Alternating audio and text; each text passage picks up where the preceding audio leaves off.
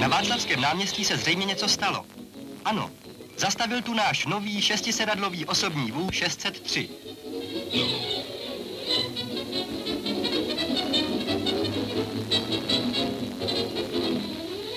Jeho váha je výborně rozložena na obě osy, takže vůz dokonale sedí na silnici. Motor z tatrováckého monopostu má obsah 2,5 litru a dává 100 koňských sil. Proto dosahuje nová Tatra až 170 km za hodinu.